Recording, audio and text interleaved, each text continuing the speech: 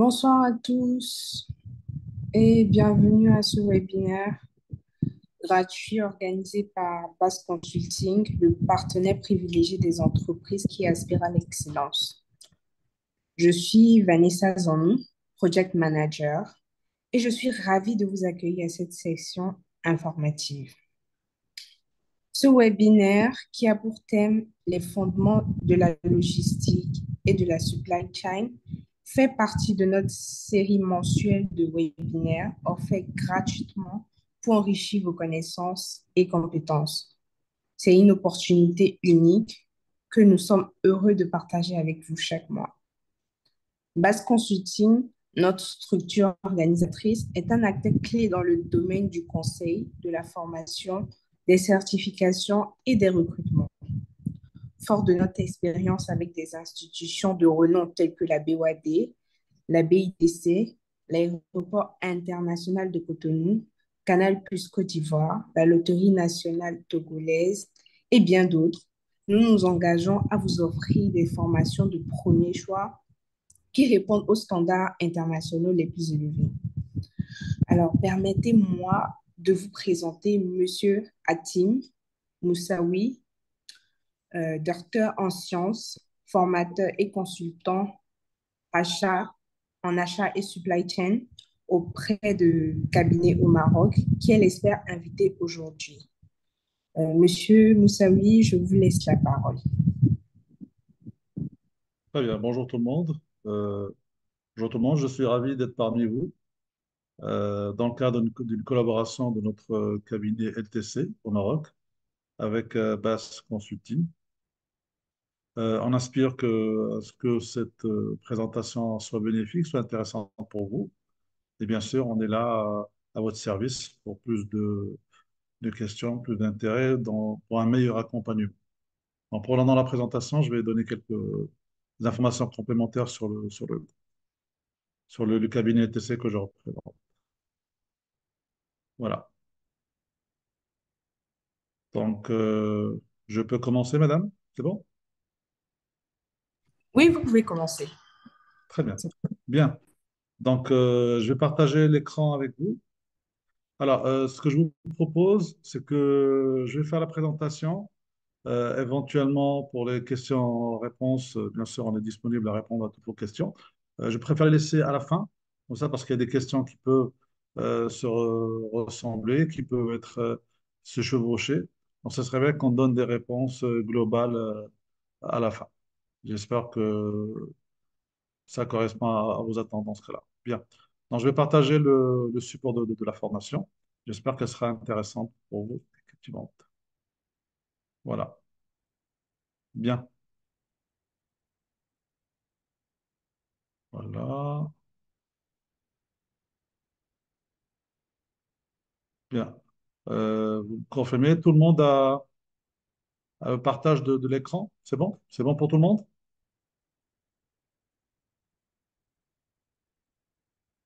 Oui, c'est bon, monsieur. Très bien, ok. Donc, euh, comme a bien présenté Madame euh, Vanessa Zanou, nous allons parler de l'objectif de ce webinaire et de parler des fondamentaux de la logistique et des supply chain. Ça vous donnera un avant-goût de, de cette thématique Bien sûr qu'on pourra approfondir par des formations, des accompagnements beaucoup plus poussés, beaucoup plus précis, de façon à répondre de façon plus objective à votre besoin.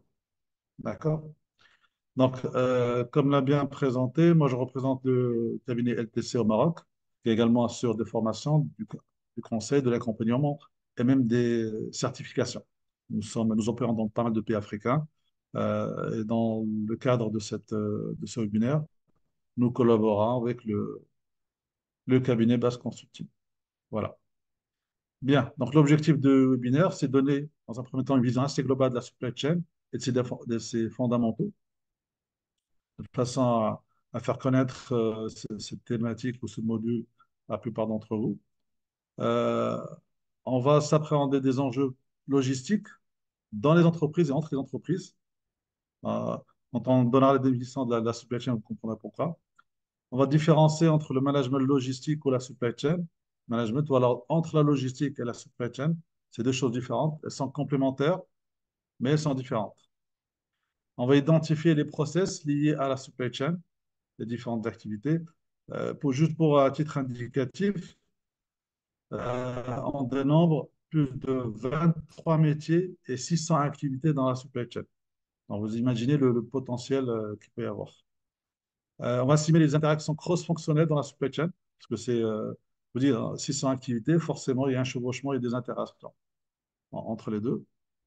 On va connaître les bases du pilotage des flux et leur typologie, pour toujours dans un but d'une meilleure, d'un meilleur service client et d'une meilleure optimisation des ressources et des coûts. D'accord? Bien. Alors, qu'est-ce que la supply chain ou qu'est-ce que la supply chain management? La supply chain ou chaîne logistique globale, c'est l'ensemble des acteurs et des tâches agissant sur le flux qui permet d'amener un bien de l'état matière première au produit final, jusqu'au client final. C'est vraiment toute la chaîne du commencement de l'état matière première jusqu'au client final. Donc, pas étonnant, comme je vous ai dit, que ça représente 6 ans d'activité et les 23 métiers.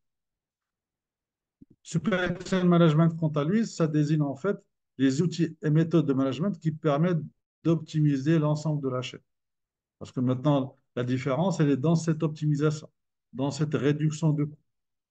Toujours, bien sûr, pour offrir un meilleur service au client final. D'accord? Bien. Donc, la gestion de la chaîne logistique ou supply chain management consiste à la supervision des marchandises, des, des informations et des flux financiers au fil de leur progression.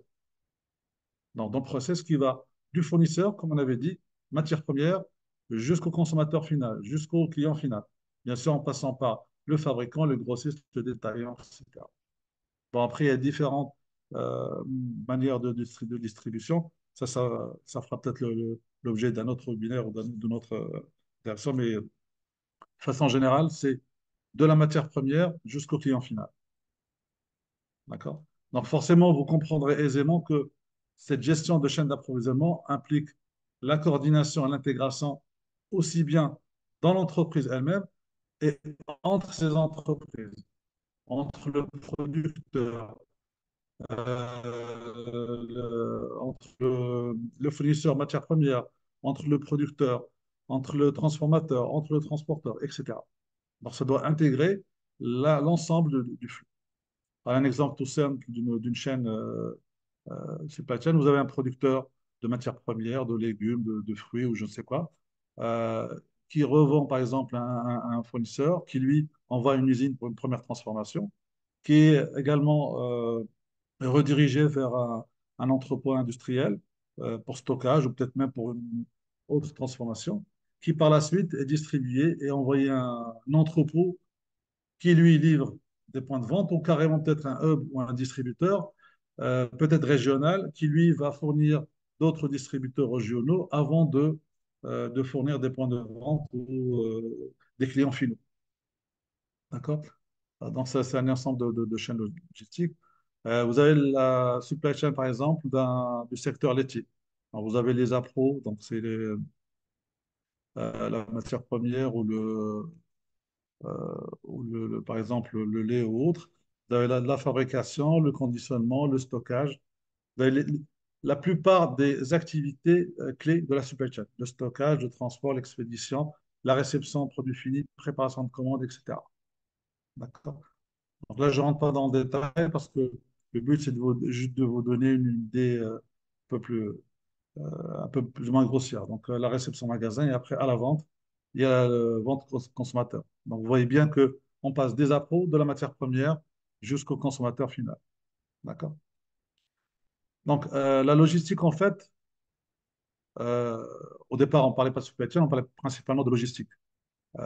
les origines sont plutôt en Antiquité et en connotation plutôt militaire en, Grèce antique, après, bon, avec les, différentes guerres euh, mondiales qu'on a, connues. Donc, ça a été considéré comme une branche militaire qui, au départ, visait à assurer à l'armée de vivre, c'est-à-dire tout ce qui est approvisionnement pour vivre, pour nourrir les, soldats et leurs déplacements. Donc, c'était principalement le, le, premier souci à l'époque.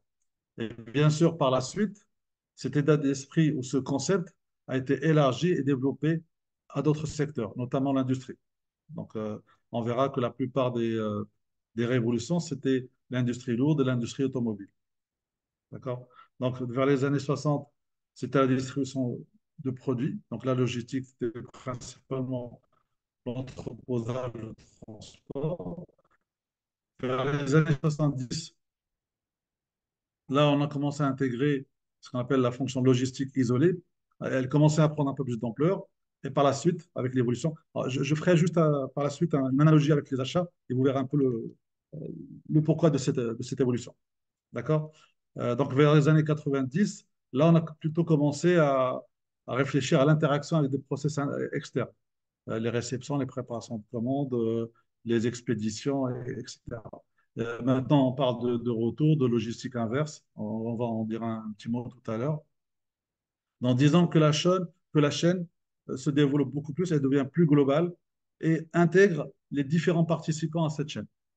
D'accord? Jusqu'aux bon, les années 2000 et ensuite, où là, c'est carrément l'intégration de, toutes les parties prenantes, et, euh, internes et externes. D'accord? Donc, la mutation, euh, brièvement, dans les années 80, c'était plutôt une fonction d'intendance on transporte euh, les produits des usines vers le marché, voilà, regard du, transporteur, du, euh, du fournisseur initial, matière première, vers les usines. Pourquoi? Parce que c'était principalement du flux poussé. Bon, euh, on en parlera par la suite. Différents types de, de gestion. Vous avez des flux poussés, flux tirés, flux tendus, flux synchrones. On va juste se contenter des flux poussés et tirés. Flux poussés, c'est quand vous produisez et vous vendez, indépendamment de la demande du client. Bien sûr, forcément, c'est par rapport, par rapport à des produits de grande consommation ou de disponibilité. D'accord? Après les dernières années, on commence à parler de flux tirés. C'est-à-dire c'est c'est des productions qui sont dépendantes de la demande du client. Avant, peut-être on produisait que des pantalons, des pantalons jeans, des pantalons bleus ou des pantalons rouges. Ah ben maintenant, le, client, il veut le pantalon euh, fuchsia, le pantalon rose bonbon, le pantalon, etc. Donc, on attend de recevoir, de connaître la tendance et, le, et la demande du client avant, de lancer. D'accord? Ça, c'est ce qu'on appelle le flux tiré. Et jusqu'aux années 80, c'était plutôt le flux poussé. On produit et on vend. Donc, à partir des années 80, c'est un ajustement entre l'offre et la demande. Donc là, on commence un peu à réfléchir en flux poussé vers les, flux tirés. Et maintenant, actuellement, c'est de l'anticipation d'intégration. Il faut, les clients sont de plus en plus exigeants. Euh, il y a des révolutions industrielles assez importantes. On ne peut pas se permettre toujours de produire et de vendre parce qu'on ne sait pas ce que les clients veulent. Donc, la différence entre les différentes structures, c'est bah, la différence par les coûts, par les services et par l'efficience des organisations. On verra dans le détail les, différents Donc, comme je vous ai dit, on fait juste une petite analogie avec les, euh, les achats. Les achats après la Deuxième Guerre mondiale, ce qu'on a, on appelait les, les, 30 glorieuses. Pourquoi? Parce qu'à l'époque, après une deuxième guerre mondiale, ben, tout est détruit et tout est bon à acheter. Donc les, entreprises étaient principalement orientées chiffre d'affaires. Donc on produisait, on produisait, ben, forcément la logistique à cette époque-là, c'était de l'intendance, en livret. D'accord? Donc l'objectif était axé là. Alors CR, c'est les coûts de revient, plus la marge, ça donnait un prix de vente. D'accord? Donc les entreprises étaient principalement orientées chiffre d'affaires. Vers les années 70-74, il y a eu le premier choc pétrolier, ce qui fait les coûts du, prix du pétrole ont augmenté 4-5 euh, fois, ce qui fait que ça a causé de très nombreux déséquilibres euh, économiques. Donc l'inflation, les déficits commerciaux. Et du coup, eh ben, on a arrêté de produire pour vendre parce que le, euh, la ménagère ou le, client, il réfléchissait avant d'acheter. il avait plus ou moins ce dont il avait besoin et n'achetaient pas forcément. Donc là, la, politique euh, a, changé et l'important ou le, point critique des, entreprises, c'était plutôt le coût. Donc, à cette époque-là, on développait des produits dont le produit était dicté par le marché. Les, les prix dont on est sûr de vendre, avec une marge minimale. Et dans ce cas-là, ben, il fallait faire attention au coût, au prix d'achat et, ben, et, on a même commencé à cette époque-là à externaliser des activités qui sont en cœur du métier, qui sont hors du, cœur du métier. D'accord? Donc là, à cette époque-là, on était plutôt.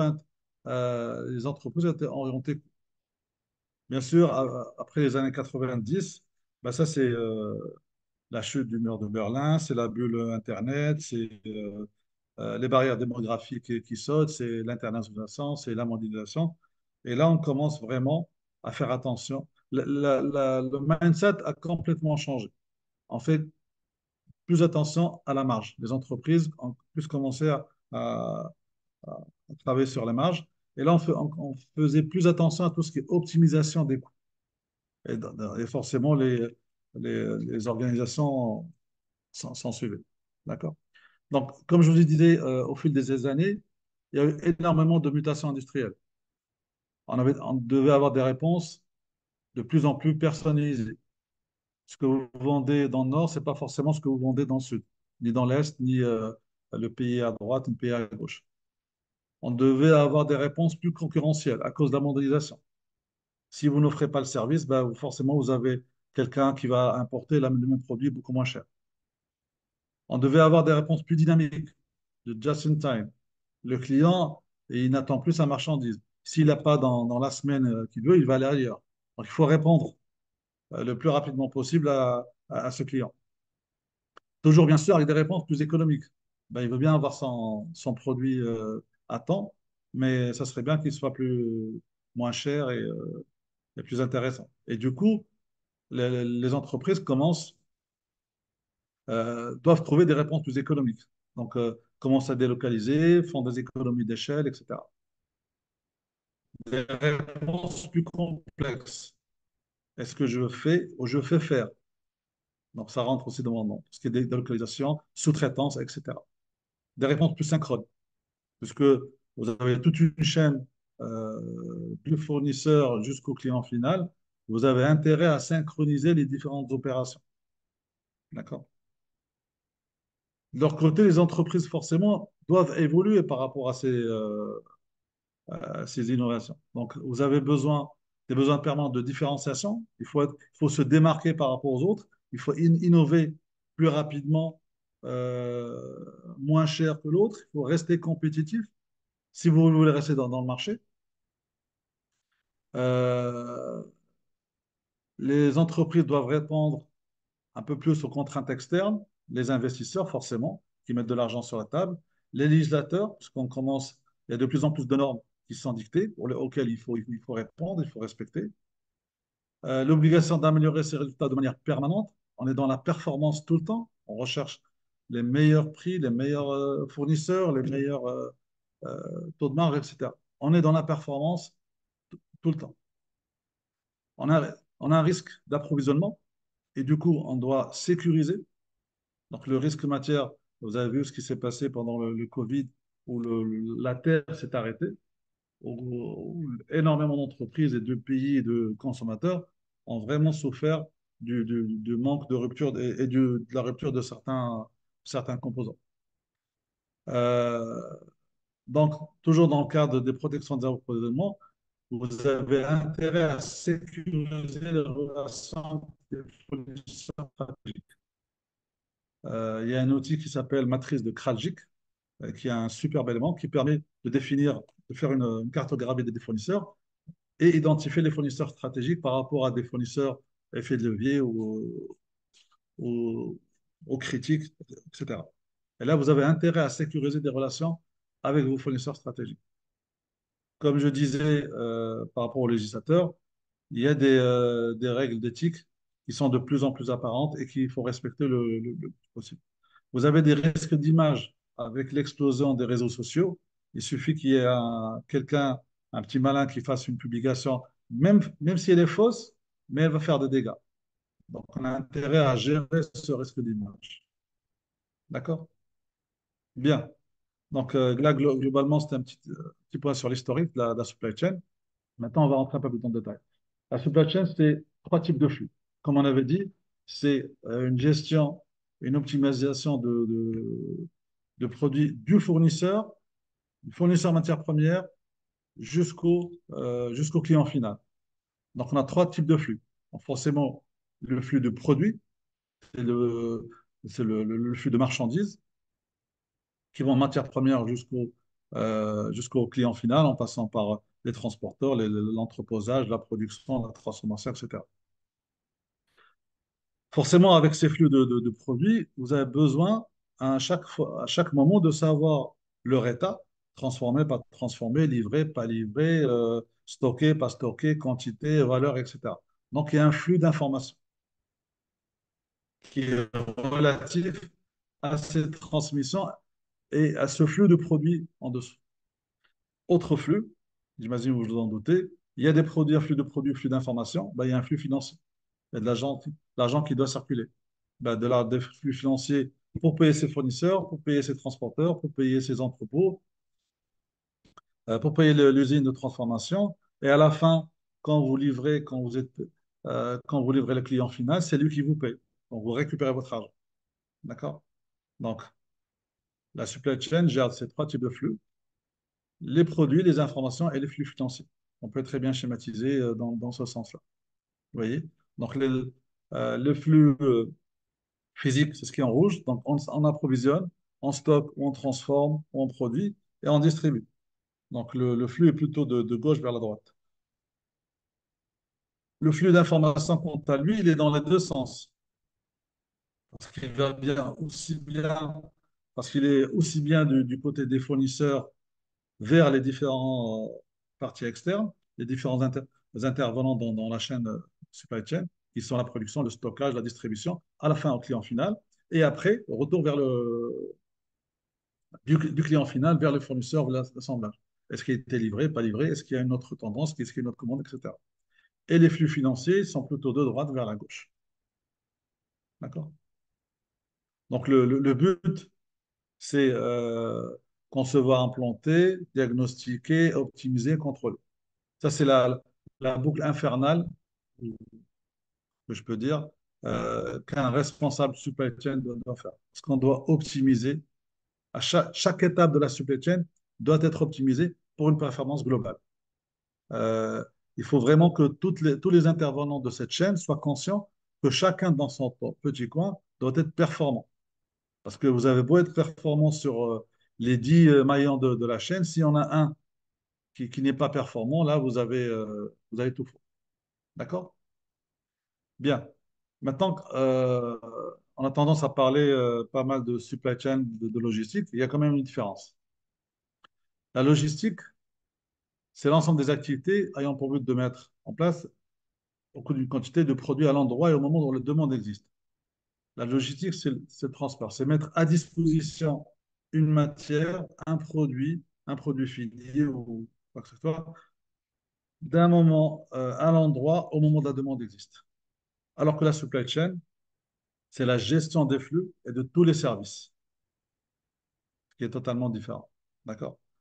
Donc, la supply chain management correspond à la gestion globale de la logistique, depuis le fournisseur jusqu'au client final. Il s'agit d'anticiper les opérations utiles pour satisfaire le client final. D'accord? Donc, on définit de manière optimale les quantités euh, à produire, euh, approvisionnement, etc. Alors que la logistique, ça permet juste. Euh, en fait, la logistique, elle est, à la service, elle est au service de, la supply chain. Il y a une image que, que j'aime bien, je vais quand même vous la montrer avant. On dit que si la supply chain était un puzzle, la logistique est l'endroit de poser les pièces au bon endroit. J'espère que les participants sont d'accord avec cette définition. on, va, on peut en discuter à la fin si vous voulez. D'accord? Donc, je reviens à, la différence entre logistique et supply chain. Donc, la logistique, c'est amener le bon produit ou le bon service au bon endroit, au bon moment pour le bon client. Donc là, vous voyez, à chaque étape, il y a un besoin de performance. C'est hyper important. Et la supply chain, c'est le pilotage de l'ensemble du process. C'est euh, la planification, c'est euh, l'évolution, des tendances, l'évaluation des stocks. Tout ça, c'est la supply chain. La logistique est une partie intégrante de la supply chain. Mais il y a une grande différence entre les deux. Dans les années 60 ou 50, oui, on parlait que de logistique. Mais après, elle s'est transformée en supply chain. D'accord Pourquoi? Parce qu'il y a une valeur ajoutée de plus par rapport au service, au, client final.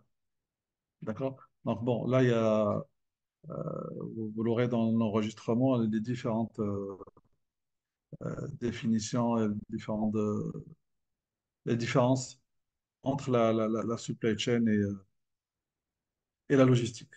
D'accord? Donc, vous voyez, rien que, en voyant la différence entre les départements concernés, la supply chain, ben, c'est euh, le développement, c'est le contrôle, la qualité, le service client, tout.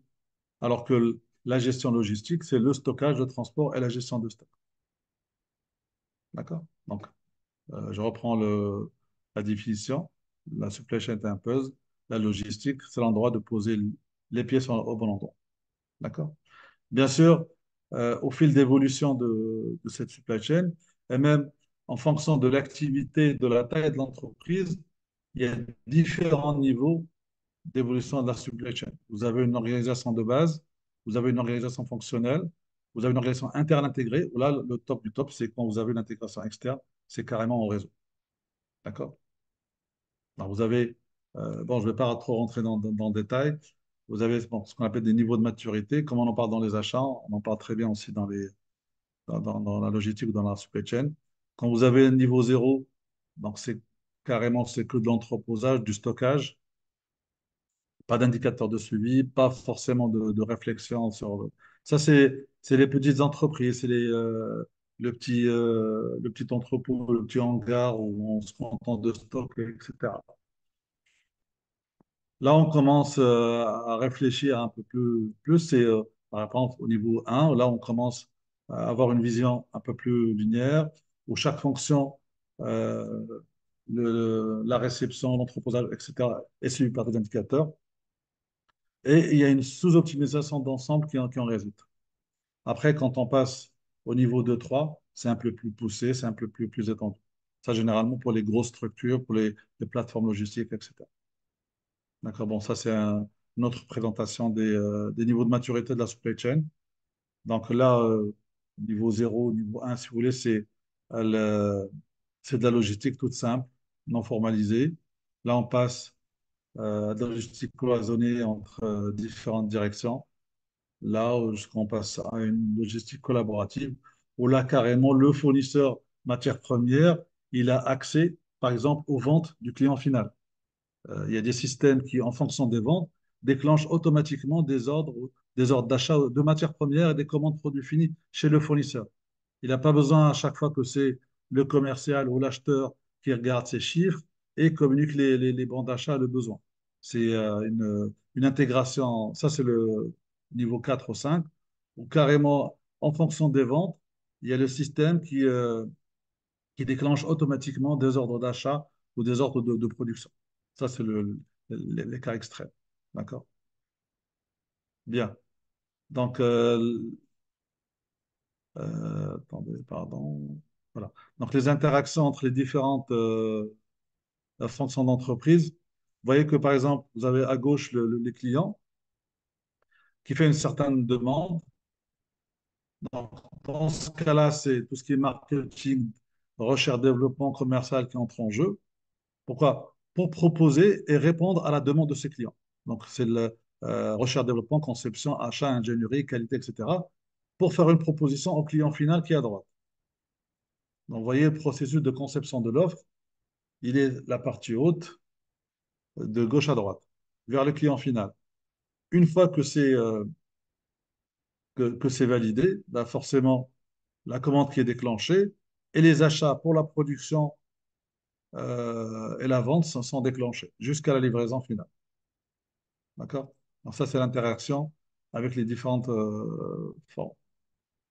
Donc le pilotage euh, de l'ensemble des ressources, pardon, excusez-moi.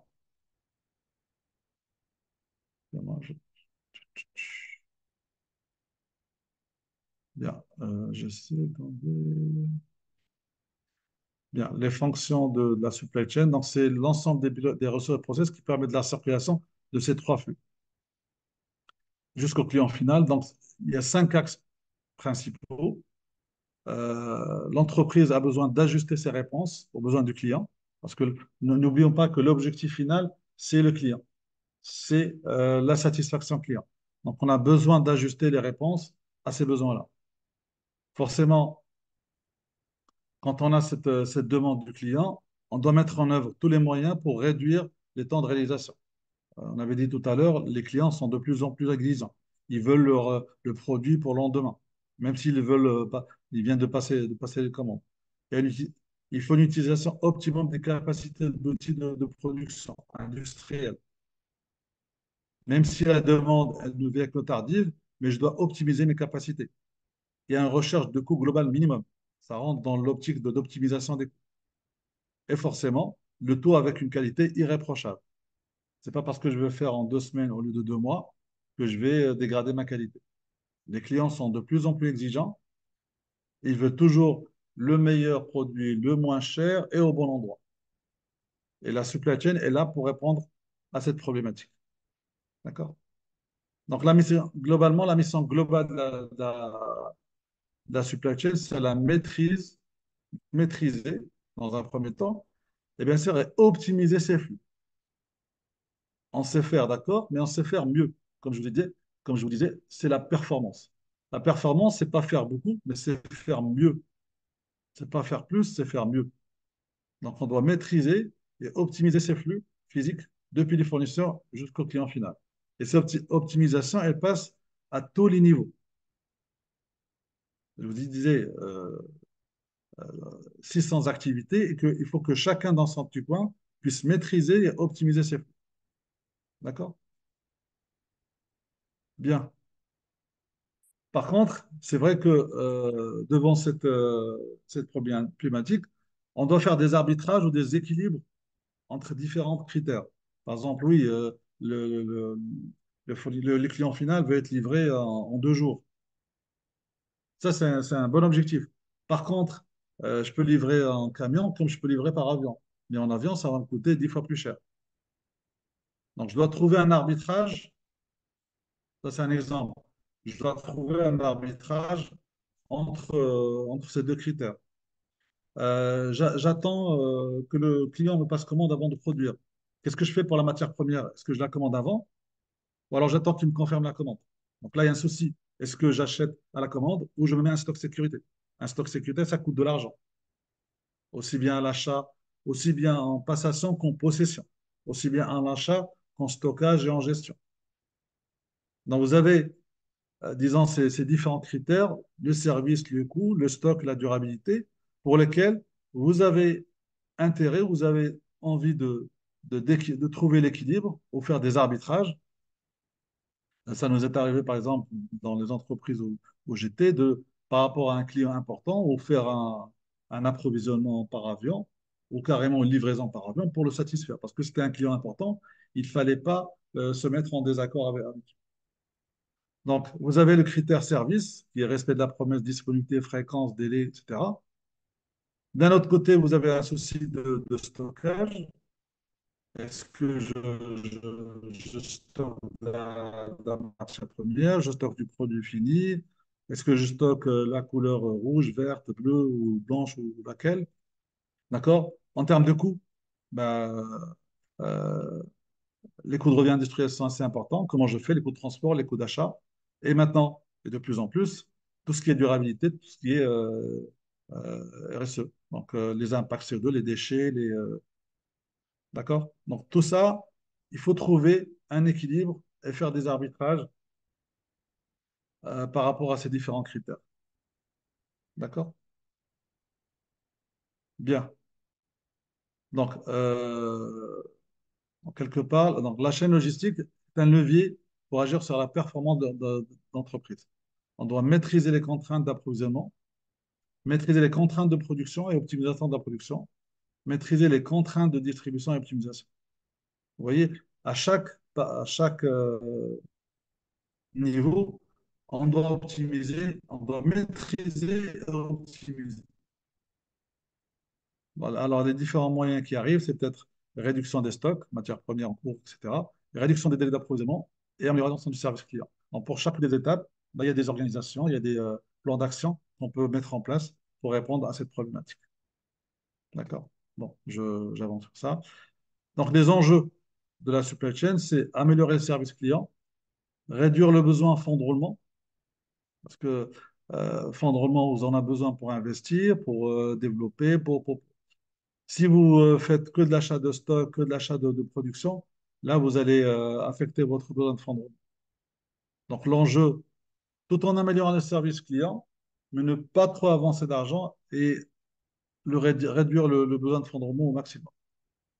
Et bien sûr, optimiser son outil de production.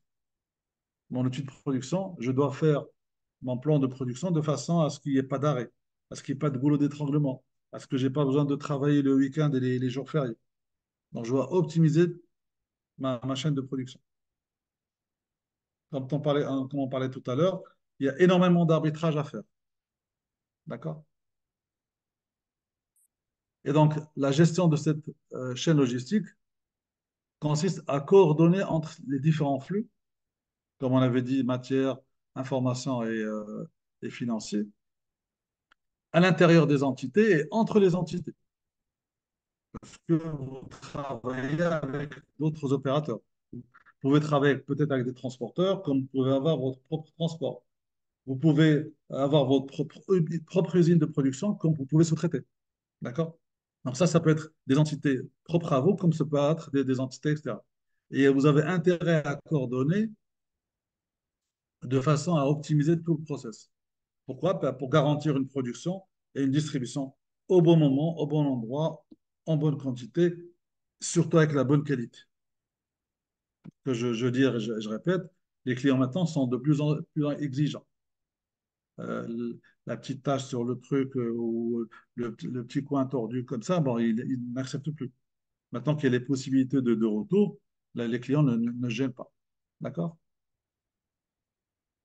Bien. Donc, on comprend aisément que la coordination entre ces différents euh, flux est vraiment nécessaire et indispensable. Donc, le supply chain manager, sans, casse-tête ou sans, sans souci de tous les jours, c'est vraiment coordonné entre ces différents flux. D'accord? Parce qu'il y a un impact derrière. Comme je vous disais, les 23 600 activités, s'il y en a un ou s'il y a un maillon, euh, vous risquez de tout faire tomber à l'eau. D'accord? Bien. Euh, quelques enjeux pour la supply chain. Donc, quelques pistes d'amélioration que, le, supply chain manager, sur lequel le supply euh, doit travailler, c'est par exemple la réduction des coûts. Euh, en termes d'approvisionnement, est-ce que j'achète 1000 tonnes ou j'achète 100 tonnes? Si j'achète 100 tonnes, euh, je risque de tomber en rupture. Si j'achète 1000 tonnes, je risque d'être en, excès. Je dois trouver du stockage, etc. Est-ce que je dois euh, sous-traiter ou produire moi-même? Est-ce que je dois avoir des équipes de 10 personnes ou 20 personnes, etc. D'accord? Améliorer la rentabilité. Il y a différentes façons d'améliorer la rentabilité. La réduction des délais, aussi bien des délais d'approvisionnement que des délais de, production, de délais de livraison. Tous les délais rentrent dans, cette catégorie. Par exemple, en termes de délai d'approvisionnement, est-ce que je privilégie les, les fournisseurs locaux, euh, régionaux, internationaux? Est-ce que je fais faire des stocks sécurité? Quel niveau de stock sécurité? Parce que toute opération ou toute action coûte de l'argent. Il faut l'optimiser, mais garder en tête que le résultat final doit être toujours performant. Le bon produit au bon moment, au bon endroit, la bonne quantité avec la bonne qualité. D'accord? La gestion du risque. C'est hyper important. Quand vous avez un panel fournisseur, par exemple, si je parle de, de, de ce côté-là, vous avez intérêt à sécuriser, par exemple, vos appros, à travailler qu'avec des fournisseurs euh, performants. Pourquoi? Parce que s'il si, si rate une livraison, si vous voulez en retard, bah, toute votre chaîne qui, qui, qui s'ensuit. Euh, L'entreposage aussi, par exemple, c'est votre prestataire logistique. Vous avez intérêt à avoir quelqu'un de performant qui respecte ses délais. Sinon, ça va impacter votre performance à vous. L'amélioration de la collaboration. Vous avez énormément euh, d'interactions entre les, les, différents, euh, les différents métiers, entre le commercial, les achats, la logistique, le développement, la qualité, le juridique. Vous avez intérêt à améliorer la collaboration avec tout le monde pour que tout le flux se passe dans les, euh, dans les meilleurs délais, les meilleures conditions. D'accord. Optimisation de la gestion de stock. C'est pour ça, à un moment, on parle de, de flux euh, poussé, flux tendu, parce qu'il y a besoin d'optimiser la gestion. Est-ce que j'achète 1000 tonnes, 2000 tonnes ou j'attends d'avoir la commande pour acheter? D'accord. Est-ce que je, stocke chez moi ou chez le, voisin ou chez la plateforme? Amélioration de la qualité. Ça, c'est quelque chose aussi qui doit rentrer dans les mœurs. Il y a le mindset, il doit intégrer cette, euh, cette notion d'amélioration de la qualité. Maintenant, ce qu'on ce qu'on commence à voir aussi, c'est la gestion des retours. Euh, c'est une possibilité qu'on donne euh, aux clients, justement dans l'optique de, satisfaire le, plus possible. Et forcément, on accepte les retours. Comment gérer ces retours? La gestion de capacité. On disait qu'il fallait optimiser sa productivité. Donc, comment gérer cette capacité? Améliorer la flexibilité. Vous avez certains clients qui, du jour au lendemain, ben, vous changent la gamme, veulent le- une autre couleur, veulent un autre produit, etc. Donc, il faut être flexible. Tout ça pour une meilleure réponse au client final. Améliorer la pla- planification. Forcément, s'il y a une flexibilité, ben, il y a une planification qui doit suivre. Optimiser les process de production. D'accord? Très bien. Euh, maintenant, on va voir euh, rapidement quelques process et activités clés de la supply chain. Comme je vous disais, il y en a 600, on va juste énumérer quelques-unes. Donc, forcément, il y a les achats, les appros. La planification, aussi bien de la demande, de la production que de la distribution. Et là, il faut vraiment que, ça soit cohérent, que ça soit fluide entre les différentes, euh, différents paliers.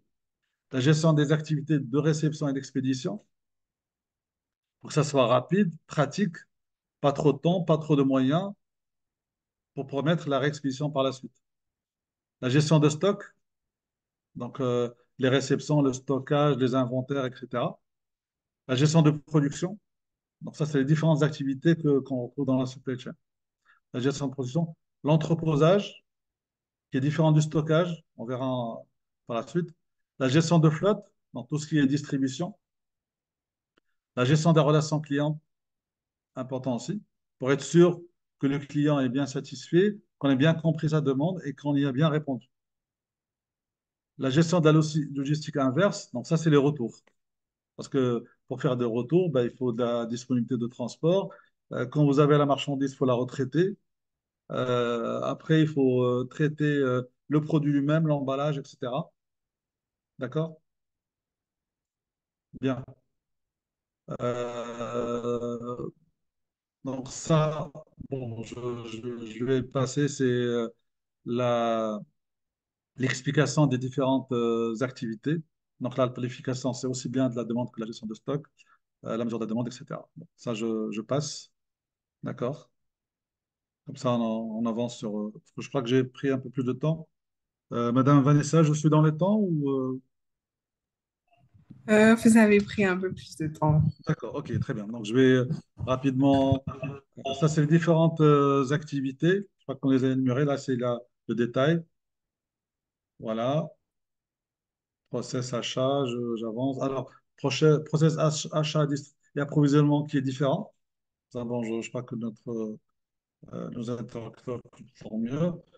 Euh, la gestion des stocks, elle comprend donc le contrôle inventaire, la gestion des pénuries.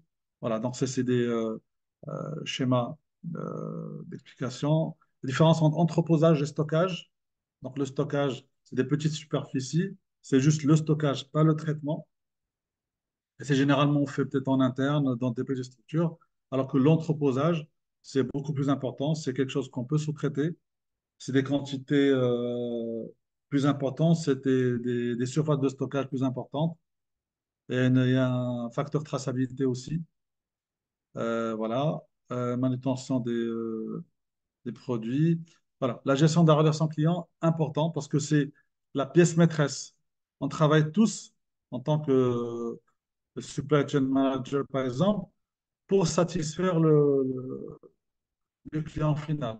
Donc, on a intérêt à ce que sa demande soit vraiment comprise et soit vraiment euh, bien intégrée dans le process. Donc, c'est pour ça qu'on a a mis en place ce qu'on appelle euh, le CRM ou le Customer Relationship Management. Donc, il y a des, logiciels, des outils qui permettent de gérer ça. Voilà, je vais juste sortir une. Voilà. Donc, la gestion de la relation client, c'est connaître ses clients, les prospecter, les fidéliser, développer sa qualité de service et piloter. Tout ça pour une gestion de relations saine et, efficace.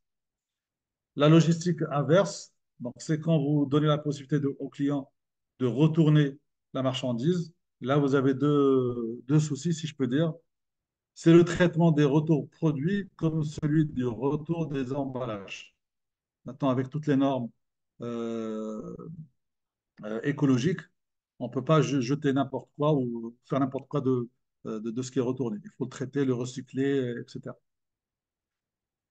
Euh, donc ça, c'est le process pour les DE, c'est tout ce qui est euh, euh, équipement électrique, euh, électronique euh, ménager. Donc ça, c'est la logique de, de l'automobile. Vous voyez que ça passe par les casseurs, on récupère, on collecte, marché parallèle, etc. Bien. Là, on va, je vais rapidement parler de tout ce qui est flux. Ça, c'est important quand même dans la supply chain. Le pilotage de flux. Donc, on, disait, il y a les flux poussés, tirés, étendus, synchrones. Ça, c'est, euh, on va plus s'axer sur le flux poussé et tiré. Le flux poussé, c'est quand euh, ça consiste à produire avant que le besoin particulier ne soit formulé par, par le client. D'accord? Donc, je produis, je produis, sachant que je sais que je vais vendre. On, on verra quel type de produits sont plutôt dans les, euh, dans les, dans les flux poussés. Il faut qu'elle s'approvisionne, qu'elle paie des salariés, qu'elle produit et qu'elle livre. Sans être vraiment sûr à 100% qu'elle va vendre. D'accord? Donc là, l'entreprise engage de l'argent pour toutes ces opérations. Après, elle stocke pour pouvoir vendre et récupérer son argent. Donc, il y a vraiment une utilisation du, fonds de roulement qui, qui est importante. Voilà, schématiquement, je produis euh, donc, de, de 100 000 pièces. Donc, j'achète de la matière première pour faire les 100 000 pièces. Je stocke, je produis et je livre. D'accord? Donc, les avantages, c'est qu'on a une grande réactivité, c'est que le client, il trouve le produit euh, à disposition. On réduit le délai de livraison des clients. Allègement de la charge de travail. Pourquoi? Parce que on produit en flux euh, plutôt optimisé. C'est pas, il n'y a pas de pic de production. C'est allégé sur toute la, période. Et on a une possibilité de répondre à la plupart des demandes. D'accord? Par contre, l'inconvénient, c'est le coût du stockage et la fiabilité des provisions. Est-ce que je, je produis euh, euh, 10 voitures euh, rouges ou 10 noires ou 10 euh, vertes, alors que peut-être c'est le, rouge qui va plus le vendre ou c'est le blanc qui va plus le vendre?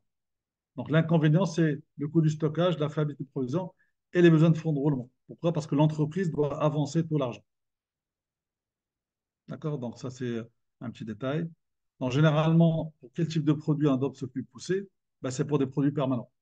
Des produits que vous trouvez toujours, produits de consommation, d'habillage ou quoi que ce soit. C'est des produits permanents. Ils sont traités en flux euh, poussé. Pourquoi? Parce qu'on est presque sûr de les vendre. Par contre, quand on passe un flux tiré, c'est la demande du client qui enclenche ou qui déclenche la, mise en production. Euh, euh, j'étais dans le textile à une certaine période. On avait un client qui nous faisait faire des, pantalons de femmes en écru. C'est un ti- tissu écru, donc blanc, euh, une quantité assez importante. Et chaque semaine, il nous disait, nous demandait les couleurs à teindre. Donc chaque semaine, on avait peut-être 200 rouges, 200 bleus, 200 noirs. La semaine d'après, c'était différent. On avait plus de rouge, plus de bleu, en fonction des ventes. Et comme ça, on arrivait à, répondre un peu plus à, la, demande du client. D'accord? Alors, voilà. Donc, le flux tiré, ce qui est en, en pointillé, c'est la demande du client. Donc, euh, euh, ce qu'on appelle des prévisions de vente euh, un suivi de tendance, on sait que, bah, tiens, c'est le, le jean, euh, je ne sais pas moi, ou le- c'est le, le, pantalon 100% coton en couleur euh, vert, turquoise, je ne sais quoi, qui va, qui va, qui sera la tendance cet été. D'accord? Et dans ce cas-là, on va s'approvisionner en conséquence. OK?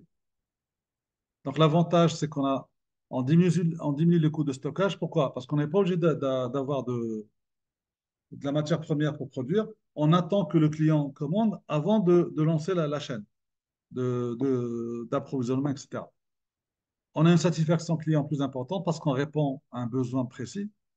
On réduit les gaspillages. et le besoin de fonds de roulement est moins sollicité. Par contre, le gros inconvénient, vous l'aurez compris, c'est la difficulté d'approvisionnement. Si on attend que le, le client nous demande, et après, je me retourne vers mon fournisseur de matières premières, est-ce qu'il a matière première ou pas? Donc là, il y a un risque de retard. Le, client risque de ne pas être livré dans, dans temps. Et un souci de capacité. Est-ce que j'ai la capacité pour lancer telle couleur ou tel modèle ou tel euh, produit? D'accord? Donc forcément, pour quel type de produit? Ben, c'est des produits saisonniers. Produits saisonniers, euh, je ne peux pas les produire tout le temps parce qu'ils ne vont pas se vendre pendant une certaine période et je dois les stocker, ce qui n'est pas bon. Donc je produis juste ce qu'il faut quand le client me le demande. Voilà, schématiquement, on a à gauche les, les- flux poussés et à droite les flux tirés par les commandes. Et au milieu, le D, ce qu'on appelle le point de découplage. Parce que l'objectif, c'est qu'on puisse travailler les deux, profiter des avantages de, de l'un sans tomber dans ses inconvénients, mais plutôt tirer les avantages de l'autre. D'accord? Voilà. L'idée, c'est combiner entre les deux. Voilà, vous voyez les, petits bonhommes euh, qui se tirent les, uns sur les autres. D'accord?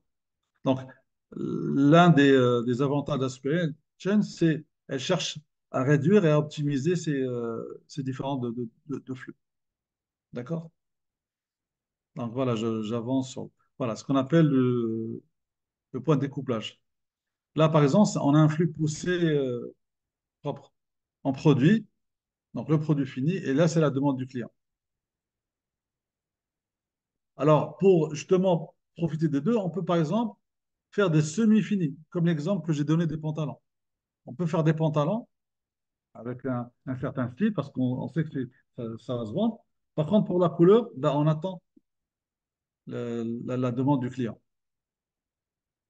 On peut également, on peut pousser plus. On sait que c'est ce tissu-là, par exemple, si je parle que l'exemple euh, que, je donne, c'est euh, dans le textile, je sais que c'est cette matière qui va être utilisée, donc je, me permets de faire du stock. Par contre, je ne sais pas si je vais faire des pantalons ou des vestes ou des shorts. Et c'est après, en pointillé, quand c'est la demande du client qui est intéressée, où là, on se met à, à produire. Et là, par exemple, là, par contre, le design, ben, on attend la demande du client. Ça, c'est carrément du flux tiré. Et ça, c'est généralement du haut de gamme. On verra. Voilà, ça, c'est juste l'explication. Voilà. Euh, l'idéal, c'est reposer le point de découplage. Je vais retrouver un schéma très... euh, voilà. Ça, c'est dans le textile. Par exemple, là, vous avez les points de vente. Quand vous avez du prêt-à-porter entrée de gamme, genre euh, euh, t-shirt blanc, le survêtement, la veste classique, le suite classique, là, c'est des choses qui sont euh, produites sur bases de, de flux poussés. Donc, je produis, forcément, je, je vends en derrière parce que ça va se vendre. Donc, le point de découplage, il est dans la préparation des commandes. Est-ce que euh, ce point de vente veut des tailles L ou XL ou S, il veut la couleur rouge, verte, etc. Par contre, quand on passe un peu plus à gauche, quand c'est du prêt-à-porter haut de gamme, à l'arrière, tout ce qu'on peut avoir, c'est le stockage de tissu. Mais je ne sais pas quel modèle je peux avoir. Donc, je peux me permettre de choisir plusieurs tissus, de garder une part en stock, mais je ne sais pas de quel modèle ils, ils veulent. Donc, je dois attendre la commande client avant de lancer. Par contre, quand vous êtes dans de la haute couture, vous avez des robes à 10, 15 000 euros, là, euh, vous ne pouvez ni faire de, de stock tissu, ni, ni rien du tout. Là, vous attendez la commande client, vous attendez le besoin de client avant de... Donc, vous voyez que ce point de découplage, ce qui me permet de passer d'un type de flux à un autre. D'accord? Bon, on a également le, le, ce qu'on appelle les flux euh, synchrones et flux tendus. Euh, je vais avancer un peu dessus, comme ça pour qu'on passe à un autre. euh, Je suis désolé d'avoir pris trop de temps. Alors, les flux synchrones, alors, les flux tendus, les flux synchrones, par exemple, généralement dans l'automobile, c'est des euh, livraisons au moment où le produit doit rentrer en, chaîne. Euh, je vais donner l'exemple de, de, l'industrie euh, euh, d'automobile marocaine. Vous avez par exemple Renault qui est implanté dans le nord du Maroc. Forcément, quand il est implanté, il a ramené tout ce qu'on appelle un écosystème. Il y a tout un parc d'activités autour, avec la plupart des fournisseurs, des gros fournisseurs, même étrangers, qui sont venus s'installer au Maroc pour produire et permettre ce flux tendu. C'est-à-dire que peut-être chaque matin, ben, vous avez des sièges, vous avez des, pièces de moteur qui sont livrées, ils rentrent directement en chaîne. Comme ça, l'entreprise n'a pas besoin de stocker. Bien sûr, tout est informatisé, tout est, il y a des prix de vente, des prix de livraison, pour que chaque matin ou chaque début de semaine, il y a la livraison de la quantité qui va servir pour la production en question. Donc ça, c'est quelque chose qui a vraiment été développé principalement dans l'automobile et l'industrie de façon générale. Un pas de flux synchrone. Rapidement, voilà la différence entre les deux. Euh, euh, voilà. Par contre, alors, euh, je vais parler d'un outil quand même, d'outils qui doivent permettre de, de, faire tout ça et de gérer, d'optimiser, ben, c'est les systèmes d'information. Dans la supply chain, euh, quand on a parlé de maturité, par exemple, tout à l'heure, on passe du niveau 1 jusqu'à niveau 5, ben, le, gros, euh, le plus gros investissement, c'est les systèmes d'information. Donc, rapidement, un système d'information, c'est des ressources à la fois humaines, matérielles et immatérielles. La ressource immatérielle, c'est le métier. C'est euh, moi, en tant que, euh, par exemple, euh, je ne sais pas, mon transporteur, j'ai besoin d'un outil ou d'un logiciel.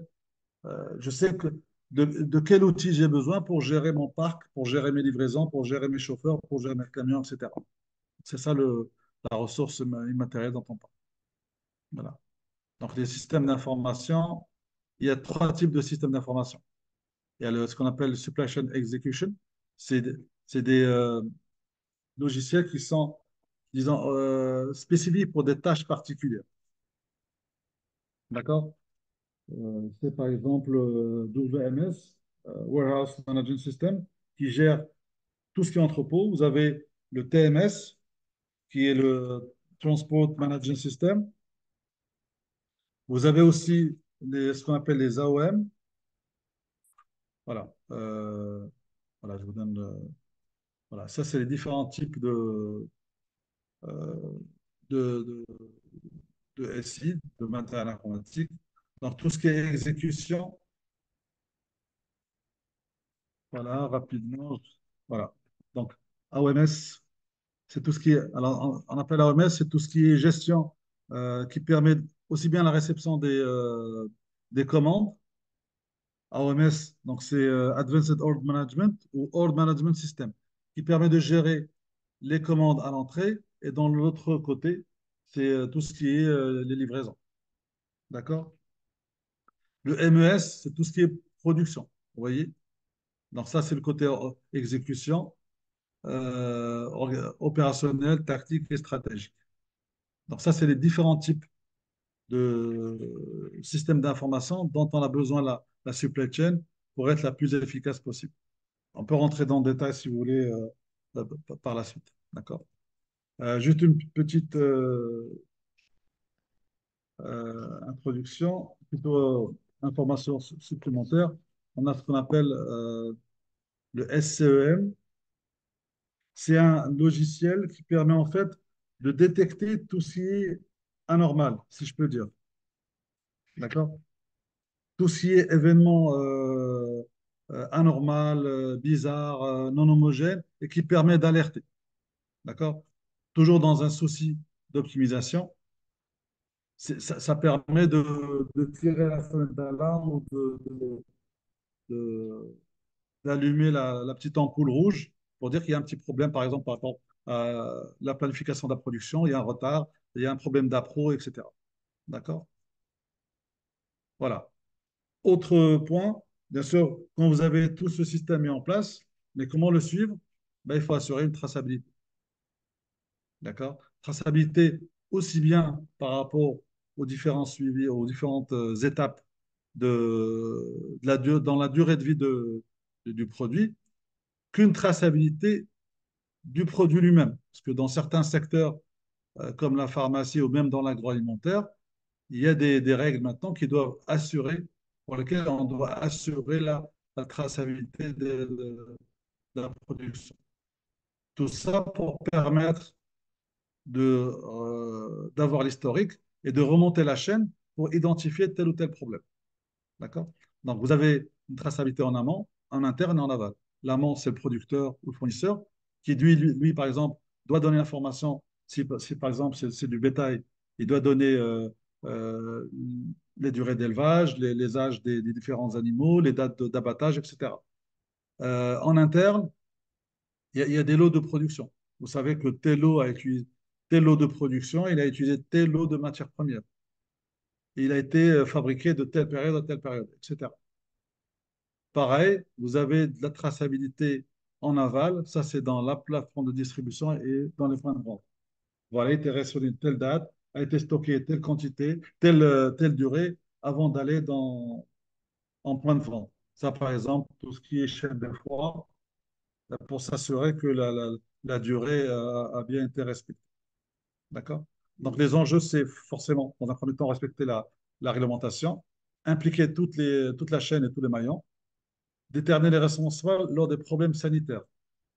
Les responsables, je ne parle pas forcément des personnes, mais des aléas ou des causes qui ont provoqué tel ou tel problème sanitaire.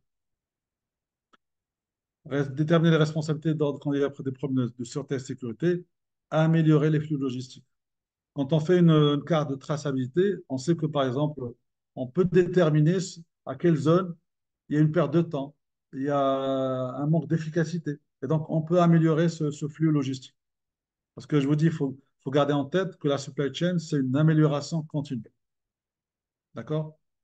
Maîtriser la démarche qualité, forcément, assurer la, sécurité des consommateurs. Euh, voilà, donc les principes, c'est euh, identifier, gérer, enregistrer, etc. C'est le but.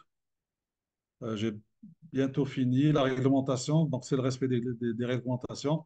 Elle est éditée au niveau européen, au niveau français, au niveau.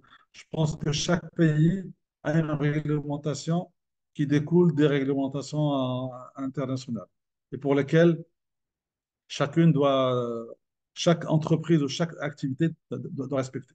D'accord? Euh, voilà, donc ça, c'est quelques exemples de, traçabilité euh, sectorielle. Dans l'aéronautique, par exemple, vous avez tous les composants sont tracés. D'ailleurs, justement, personnellement, je m'étonnais quand il y avait malheureusement un crash et qu'on disait que c'était la pièce X qui a été détachée ou autre qui a causé le problème.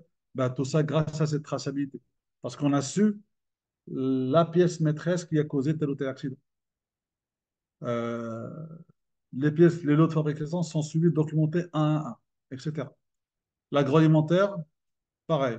Le tracé, le traçage est fait pour les origines, l'étiquetage, la durée de conservation, la chaîne de froid et l'humidité hydrométrique. L'industrie pharmaceutique, vous avez la date de péremption, le numéro de l'eau.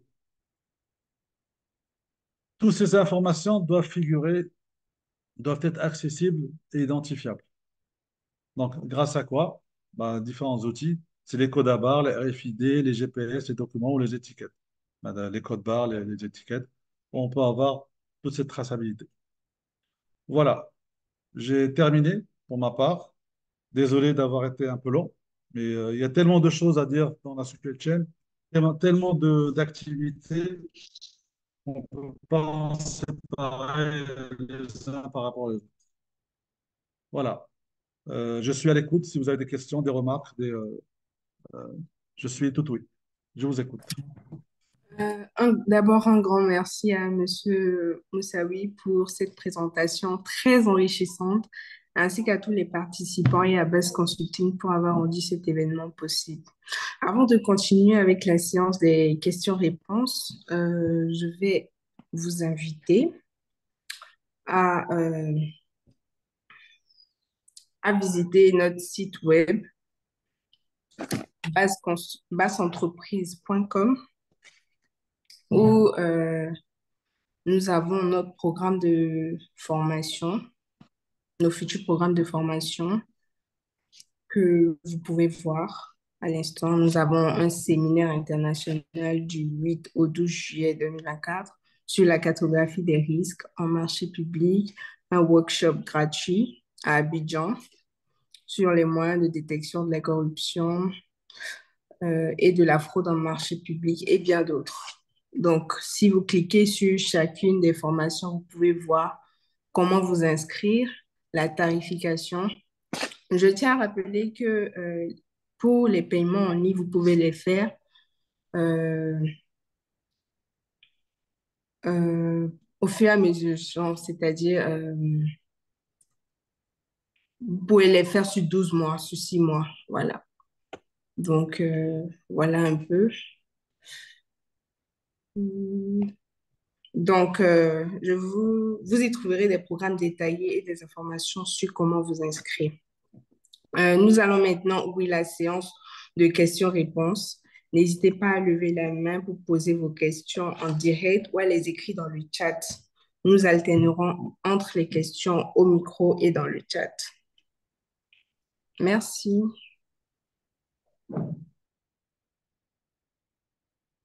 Généralement, c'est le premier euh, à se lancer qui, euh, dès qu'il y en a un, euh, les autres suivent. Maintenant, il faut juste un téméraire ou un courageux pour se lancer. Oui, on a déjà une main levée. Je vais activer son micro. Monsieur Emmanuel. On vous écoute, monsieur. Oui, même bonjour. Et merci à Bass Consulting et merci au présentateur. Merci pour cette euh, brillante présentation très intéressante avec beaucoup d'informations sur la logistique et la supply chain. Euh, euh, de prime abord, je voudrais m'intéresser à la différence qu'on pourrait établir entre la logistique globale et la logistique internationale. Euh, et dans la même veine, euh, je, ne sais pas si c'est une question d'école par rapport à la différenciation qu'on fait, telle que vous l'avez fait là d'ailleurs, entre la logistique même et la supply chain. Puisque euh, de toute façon, selon moi, on finit par s'enliser parce qu'en définissant la supply chain comme vraiment différente de la logistique, et, on, aboutit toujours à la logistique globale, puisque la supply chain management même revient encore à de la logistique globale. Donc, on retrouve encore de la logistique. Mais j'ai aimé, j'ai aimé cette, euh, euh, euh, ce schéma que vous avez utilisé au niveau du puzzle, qui permet de faire comprendre aussi que et la supply chain et la logistique sont indissociables. Parce que au niveau de la, la supply chain, euh, euh, on a les composantes, on a les maillons, mais il faut bien la logistique pour pouvoir les optimiser. Il faut bien la logistique pour que ce soit performant. Donc, on ne peut pas dissocier la supply chain de la logistique. Et en fait, si vous permettez, la, la, logistique est une partie intégrante de la supply chain. Tout à fait. La supply chain, c'est c'est carrément les, les, les, maillons à l'extrême. Vous avez des euh, la recherche de la matière première chez le fournisseur, la matière qui sort de terre, qui sort de, du, bon, la matière première, jusqu'au client final.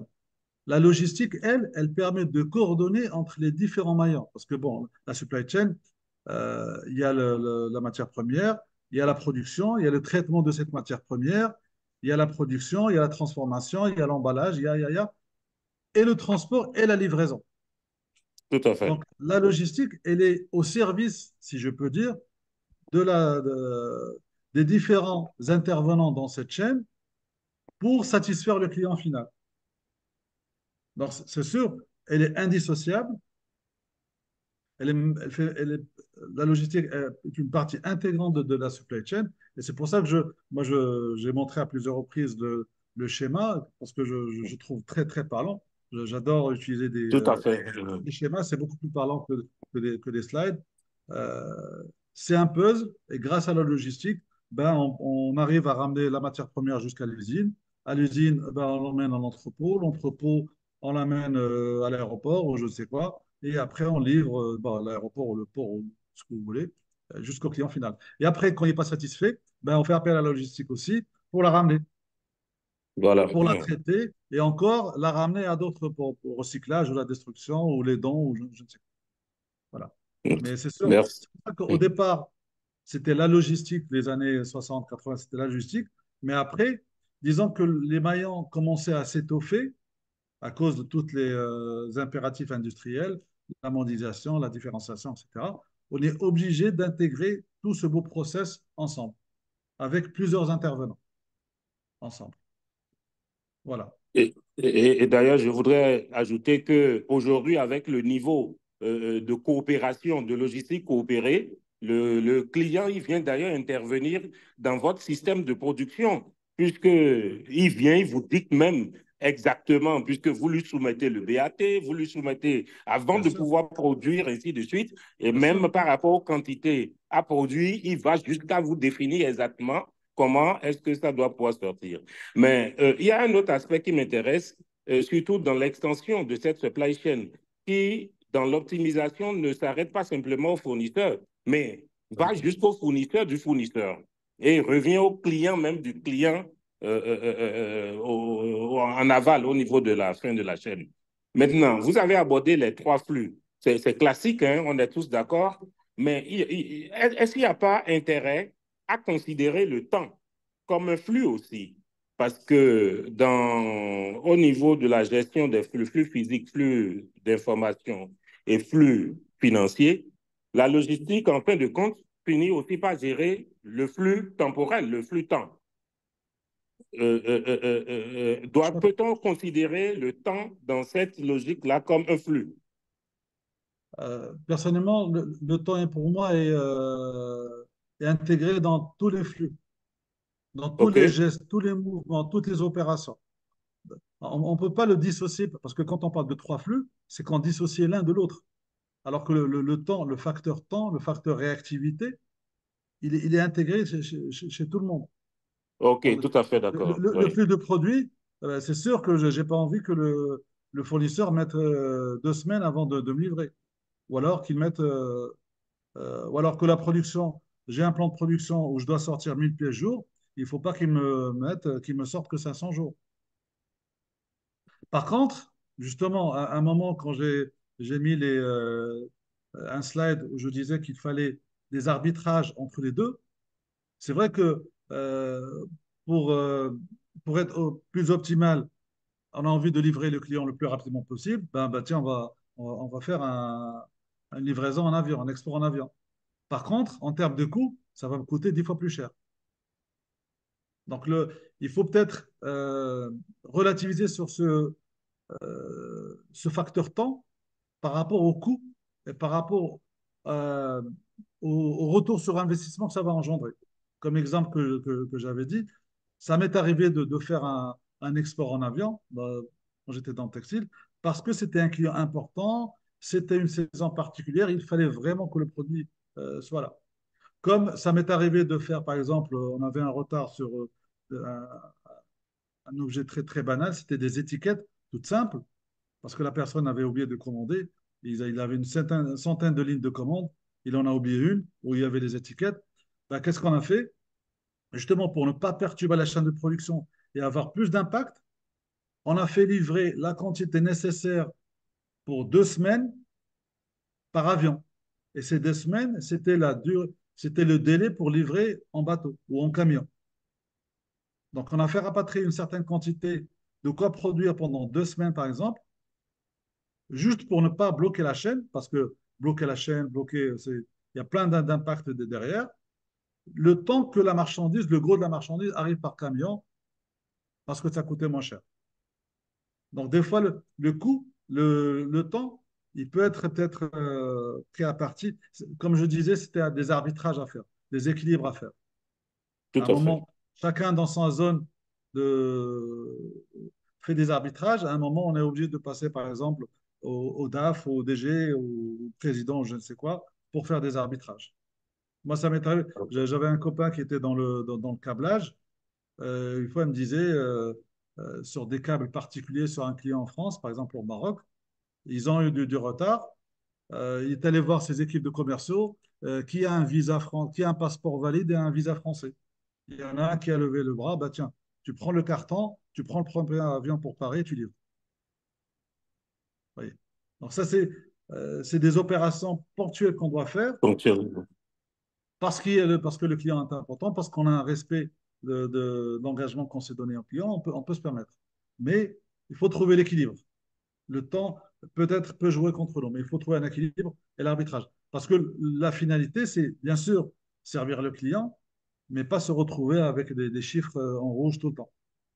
De temps en temps, OK, je peux me permettre euh, un petit plus, sachant que derrière, je réfléchis à cette problématique et j'essaie de mettre les plans d'action pour que ça n'arrive plus. Ou déjà que ça arrive le moins possible. Parce qu'on apprend avec le temps. On, bon, on fait bien des choses, des, graphes, des plans de production, etc., mais il y a toujours des imprévus. Donc on les gère, on arbitre. Est-ce qu'on fait, on sous-traite, on, travaille la nuit, on fait des heures sup, euh, on recrute d'autres personnes, etc. Mais derrière, on tire les leçons qu'il faut pour que ça se répète plus. C'est ça l'optimisation. On optimise tout le temps. On cherche toujours la meilleure façon de mieux faire. Et comme je disais tout à l'heure, la performance, performance ce n'est pas faire plus, mais faire mieux. Donc on optimise toujours pour une meilleure performance. Ce, qui me permet de dire que, en fin de compte, euh, la supply chain est un but pour l'entreprise. C'est-à-dire, euh, l'entreprise poursuit tout le temps ce but-là pour euh, atteindre la qualité totale.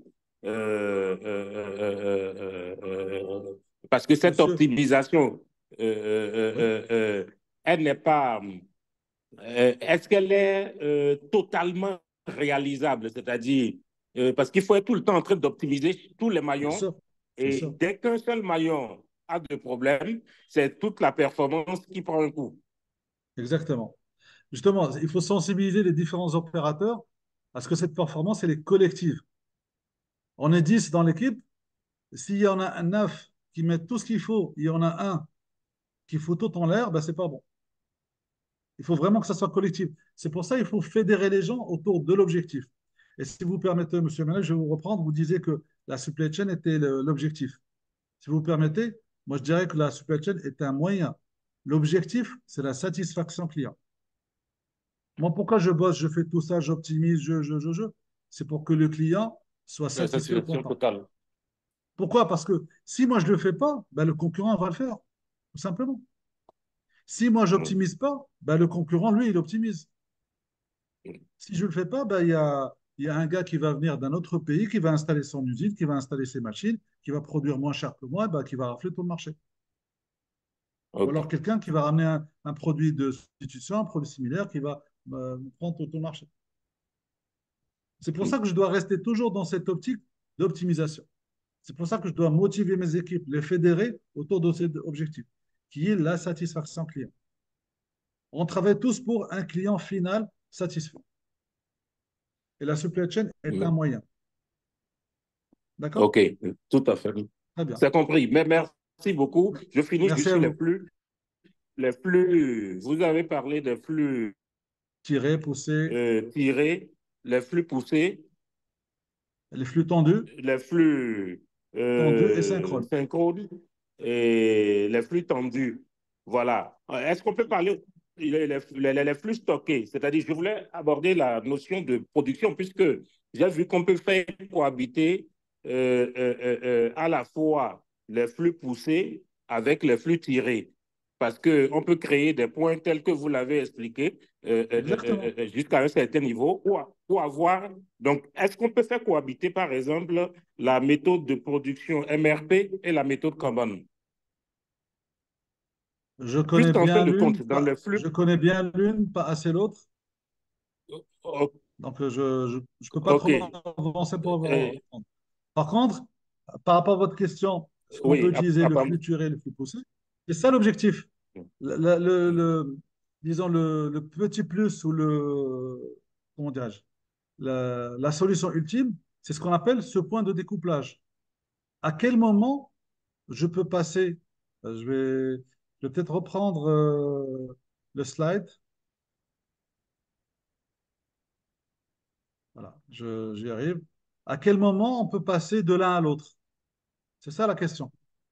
Oui, justement. Parce que mais, mais, mais mon, mon inquiétude surtout, c'est que en faisant cohabiter les deux, on crée deux systèmes de stockage. Il y a un, niveau où euh, euh, on élimine le stockage plus ou moins, c'est-à-dire on minimise le stockage. Parce que dans le flux tiré, et, on va plus vers le flux tendu. Tandis que dans le flux euh, poussé, on va beaucoup plus dans un flux stocké. Tout à fait. Mais, mais ça, par exemple, vous n'allez pas forcément le faire pour toute votre production. Peut-être pour certaines matières ou certains, euh, certaines matières premières où vous avez un souci d'approvisionnement, et pour justement pour éviter ce risque de rupture à l'entrée de chaîne, vous allez vous faire du stock. Par contre, pour un autre composant ou un autre produit où vous avez des fournisseurs locaux disponibles, vous n'avez pas besoin de faire du stock. Vous, euh, vous faites signer un contrat cadre sur une livraison, euh, un contrat d'un an, deux ans, trois ans, je ne sais quoi, avec des livraisons régulières. Là, il n'y a pas de souci. D'accord? Cette, cette, différence de, de, flux, vous ne pouvez pas le faire. Vous n'avez pas à, le, à, la faire pour toute votre chaîne de production. Vous la faites sur certaines gammes de, de matières premières ou sur certaines gammes de composants. Suivant le risque, suivant le risque que vous courez. Tout ça, justement, dans un souci d'optimisation. Pour ce composant stratégique que, que j'importe euh, d'Asie ou je ne sais, je ne sais qui, je ne peux pas m'amuser à commander toutes les semaines. Mais je vais peut-être euh, euh, avancer de l'argent et commander par mois. Par exemple, comme bon, le, les, délais de livraison, c'est un mois, deux mois. Pour ce produit-là, c'est un délai de livraison. Ben je, je m'approvisionne mois par mois, par exemple. Par contre, ou, alors un stock de deux mois. Là, bon, on va rentrer dans ces histoires de stock stock sécurité, stock euh, euh, d'alerte, etc. Ça, c'est une autre. Euh, donc, vous mettez en place des stratégies. Par contre, pour des composants qui sont locaux ou alors standards, ou que vous pouvez développer sur place, par lesquels vous pouvez substituer par d'autres produits, là, c'est une gestion totalement différente. Vous faites un contrat cadre, vous gérez en flux, synchrone. Le, fournisseur, s'il est à côté de vous à 100 km, ben, il me livre toutes les semaines par exemple. Peut-être en faisant une étude, je, trouverai que le fait de me les faire livrer toutes les semaines me coûtera beaucoup moins cher que de stocker, que de m'emprisonner à euh, besoin de, du mois. C'est-à-dire que cette utilisation conjointe des deux types de flux, elle est spécifique à chaque matière première. ça va être un vrai casse-tête. Mais le but, c'est d'optimiser tout ce que je peux ne pas stocker et avoir de disponible, parce que le but, c'est quoi? C'est ne pas euh, bloquer votre chaîne. C'est que ça soit fluide, qu'elle fonctionne tout le temps. Mais par contre, je ne dois pas avoir... Euh, sinon, il me faut 10 entrepôts pour de la matière première. Sinon, toute ma marge va y passer. Je ne stocke ou je m'approvisionne ou je mets un, euh, un stock sécu que sur la matière où j'ai vraiment un risque. Par contre, la matière disponible en local, etc., pas de souci. D'accord? OK. Merci beaucoup. Merci. Je vous en prie. Pour ces réponses. Merci. Je vous en prie. Merci beaucoup, M. Emmanuel. On a Madame Ariane Yekpon qui souhaite poser une question. Je vous en prie, Madame. OK. Merci beaucoup. Bonsoir, Monsieur Moussaoui. Bonjour, Madame. Bonjour. Je vous remercie déjà pour euh, la qualité de la communication et euh, la maîtrise du sujet présenté. Euh, je suis un peu une passionnée de, de, la supply chain et au cours de mes recherches, j'ai eu à, entendre parler, sinon à avoir des, des informations éparses sur les notions d'achat et d'approvisionnement. Oui. J'ai constaté que dans, dans votre présentation, vous avez passé un slide qui montrait les différences entre achat et approvisionnement. Exactement. Donc, euh, voilà, je, si c'est possible, que vous puissiez nous aider à, à revoir euh, ce slide-là et comprendre mieux ces différences-là. Très bien. Ce ah, serait... OK. Euh, c'est quoi votre idée C'est quoi la différence entre, entre achat et approvisionnement? Pour moi, l'achat, c'est le fait de, de mettre en place euh, des procédures pour euh, acquérir des biens, services ou, travaux euh, dont on a besoin. Je ne me trompe pas, j'espère. Non, ah, Allez-y. Attendez, je vais essayer de partager mon écran. Euh,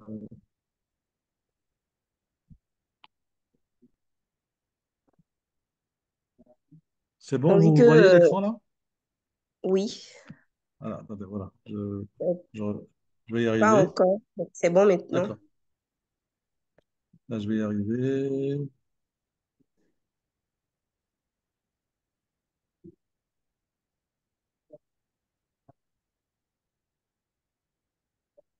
Désolé. Voilà.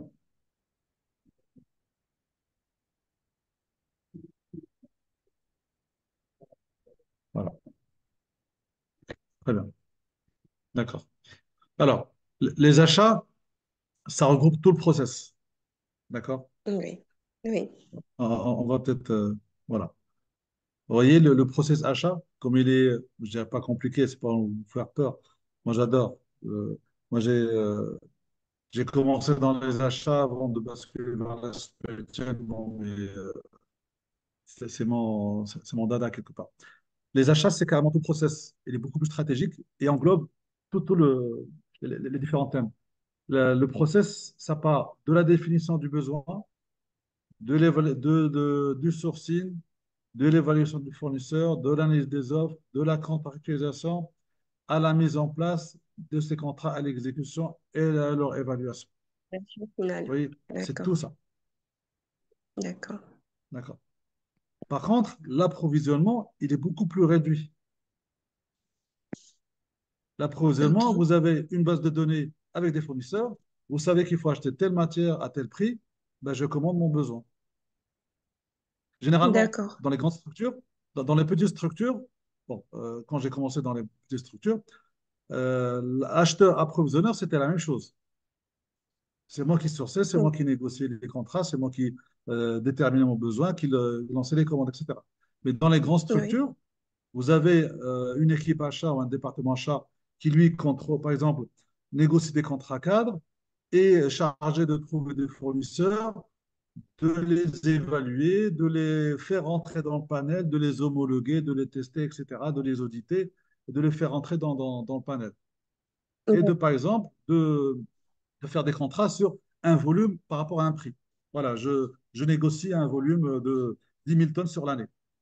Par contre, est-ce que j'ai besoin de, euh, sur des 10 000 tonnes, est-ce que j'ai besoin de 1000 tonnes chaque mois? Ou je peut-être, par exemple, le, premier trimestre, j'ai besoin de 2000 tonnes par mois et le reste, j'ai besoin que de 500 tonnes. Cette, ce, genre de commande, c'est l'approvisionneur qui prend en charge.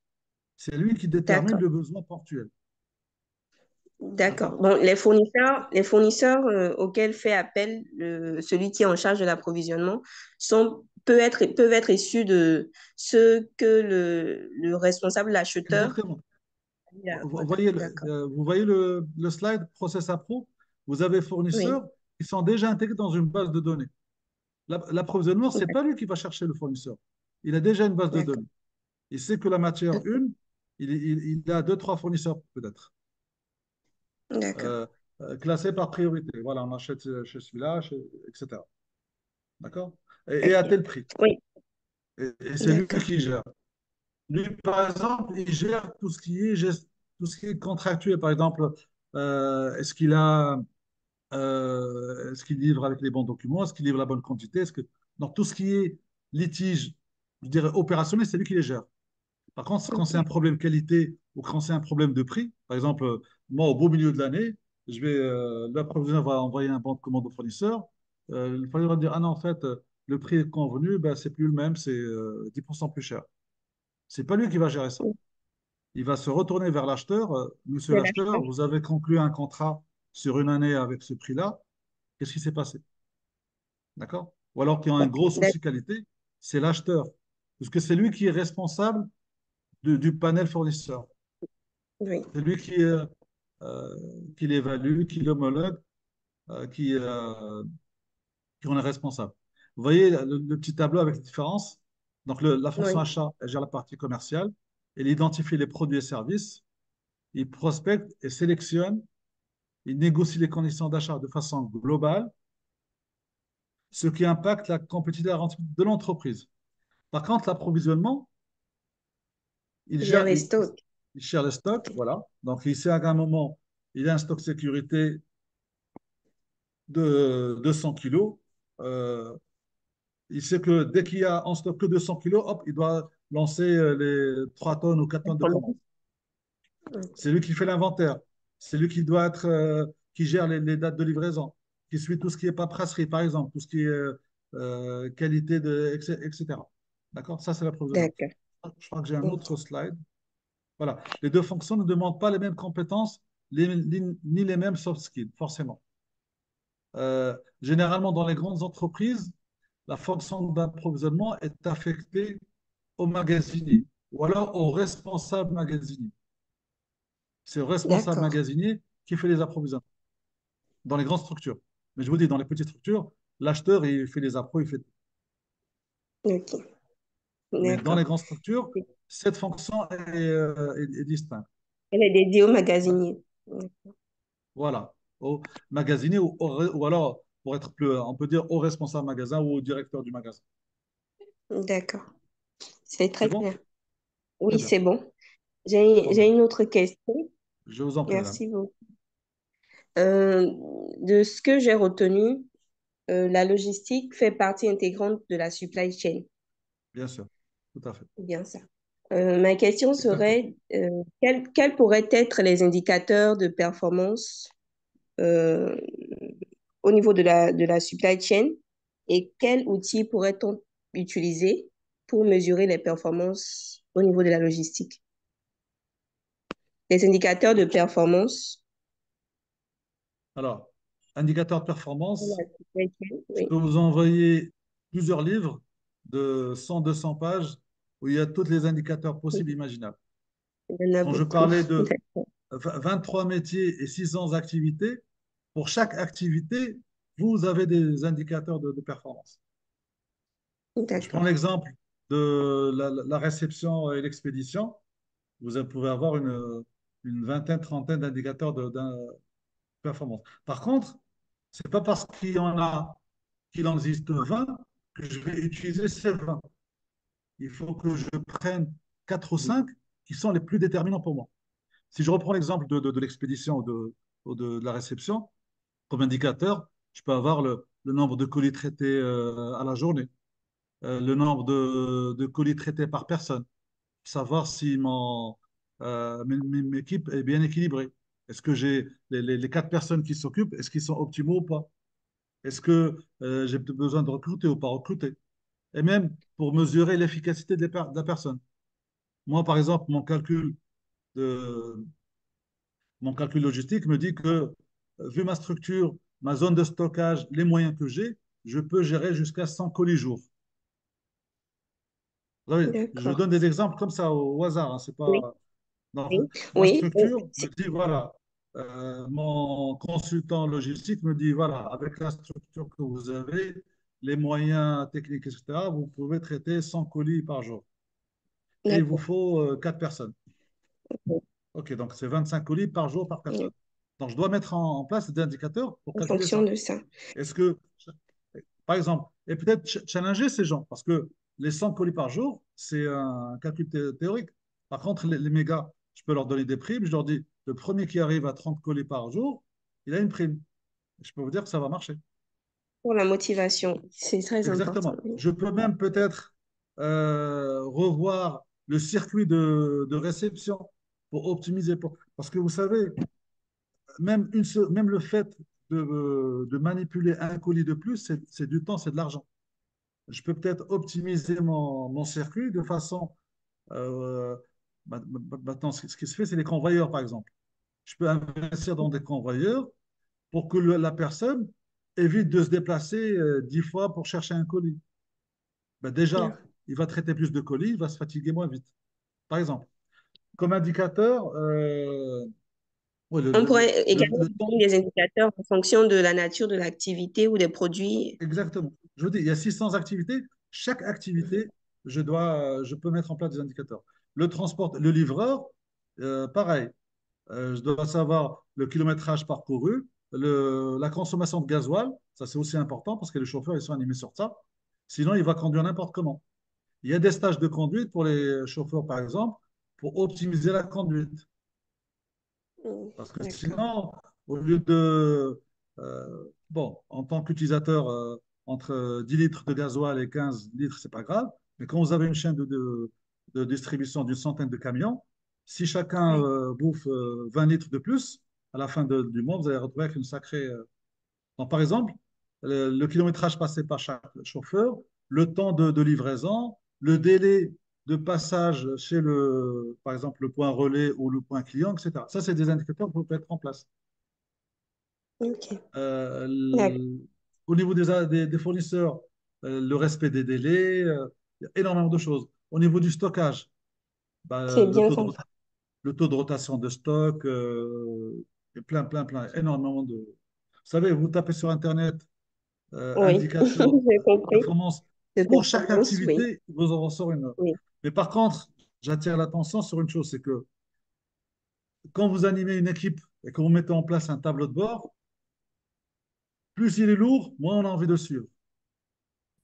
Ah oui. Sur une activité, vous avez 20 indicateurs, prenez les plus importants pour vous. Le jour où vous aurez maîtrisé, par exemple, les cinq premiers que vous avez déterminés, où ça va rentrer dans les mœurs, que c'est quelque chose euh, d'inné que tout le monde doit respecter, et toujours dans cette recherche euh, d'amélioration, vous pouvez affiner un peu plus. Exactement. Vous pouvez détailler, rentrer un peu plus dans le détail. Ben là, l'équipe elle est opérationnelle, elle est impeccable, elle est performante, et il respecte. Euh, tous les indicateurs sont au vert pour les cinq premiers. Ben tiens, si, si je rentre un peu plus dans le détail, et je vais en sortir deux, trois autres. C'est une façon de challenger les équipes aussi. D'accord.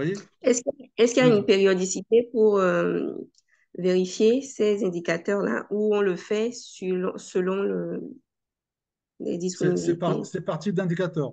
Vous avez par exemple euh, le nombre de colis traités ou autres, ben ça c'est chaque jour, c'est une information qui doit remonter tous les jours. Parce que le jour où vous verrez par exemple, vous venez le matin, pour regarder les chiffres de la veille, vous voyez qu'il n'y a que 80 ou 70 colis, alors qu'au passage, vous voyez tous les quais remplis, euh, ça bouge. Euh. vous posez la question, comment ça se fait que tous les quais sont remplis? Et eh ben, qu'il n'y a que 80 colis euh, au lieu des 100 D'accord? Par contre, vous avez d'autres indicateurs, on a besoin de les voir à la semaine, au mois. D'accord? Vous avez des indicateurs, il y a ce qu'on appelle des indicateurs. Il y a aussi des indicateurs stratégiques, opérationnels et tactiques. Stratégique, c'est tout ce qui est indicateur au niveau, par exemple, du directeur général, du directeur financier ou autre. C'est le chiffre d'affaires, c'est la marge, c'est le nombre de, de commandes livrées, le nombre de commandes, etc. Vous avez des indicateurs tactiques au niveau, par exemple, du responsable euh, logistique. Nombre de camions traités, nombre de sorties, bon, etc. Et vous avez des, euh, indicateurs plus opérationnels. Vous voyez, plus on descend, plus on, rentre dans le détail. Vous avez les stratégiques, c'est pour le DG, le président, le directeur financier, directeur achat, etc. Euh, tactique, c'est un peu plus bas, c'est par activité, par process. Et même opérationnel, vous pouvez même, euh, c'est magasinier, c'est monsieur X, référence tel, c'est le service expédition, c'est le service livraison, c'est. Donc, la périodicité dépend du type de l'indicateur. Il y en a, certains que vous devez voir tous les jours. Peut-être même euh, tous les heures. Quotidien, hebdomadaire, mensuel, selon le, type. Maintenant, ce qu'il y a aussi, comme j'en ai parlé tout à l'heure, il y a des logiciels et des appareils qui, à la rigueur, euh, vous mettez euh, un palier, vous mettez par exemple un intervalle, ben, tant que l'indicateur est sur cet intervalle, tout fonctionne. Ça veut dire que les gens sont dans le vert. Le jour où il dépasse, il dépasse de 10% et devient dans l'orange, là, vous avez un petit signal. D'accord? Vous n'êtes pas obligé à chaque fois d'aller regarder. C'est une valeur cible. Définir une valeur cible. Voilà. Par exemple, euh, les, les livraisons, tant que c'est entre 95 et 100, il n'y a pas de souci. Entre 92 et 95, là, il y a un problème. Là, on sait qu'il y a des problèmes commencent. Voilà, exactement. Donc là, il y a une petite lumière orange qui s'allume, réunion, voilà. Là, vous ressortez les indicateurs et vous essayez de voir le pourquoi du comment. Peut-être parce qu'il y a, je ne sais pas moi, un opérateur qui est absent, qui a eu un accident le matin, donc euh, le temps de le remplacer ou de mettre quelqu'un à la place, ben, c'est déjà une demi-journée de perdu. Forcément, les indicateurs ne sont pas bons. Euh, je ne sais pas, peut-être que euh, deux fournisseurs sur les, cinq qui devaient livrer, ben, ils n'ont pas livré. Vous voyez? Donc, il vous prévient du problème et à vous de déterminer le pourquoi du comment et mettre en place les actions pour les, corriger. D'accord. D'accord? Donc, vous n'êtes pas obligé de regarder. C'est lui qui vous prévient. Oui, d'accord. Donc, euh, à chaque type d'indicateur, il y a sa périodicité et l'accent à, mener derrière. tout ça, pour, mettre en œuvre. Tout ça, voilà, tout ça pour optimiser votre temps aussi. Euh, par exemple, euh, un directeur général, il n'est pas obligé de voir le, chiffre d'affaires chaque, chaque jour. Bon, peut-être, ça dépend des activités, mais peut-être chaque semaine, chaque. Par exemple, ça comme ça.